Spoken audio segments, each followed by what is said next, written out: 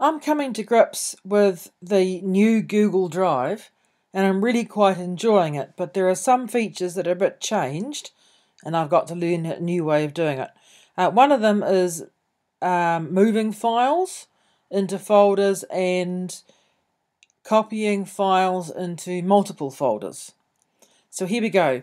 Say I want this khaki playtime folder to go into my ulearn folder. So I just drag it into the folder and it was good to go. They all stay blue. Yep. But what I really want to do is to move this folder into two different folders. Not move it, so I say copy it into two different folders.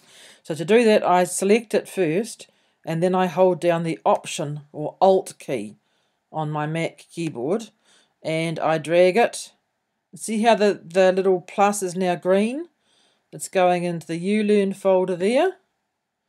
And then I can also drag it into Barb's folder. So she knows what's going on as well. So um, here's the Barb one. And there it is in there. And going back to my drive, here is the same thing in the ulearn folder. Is it making sense?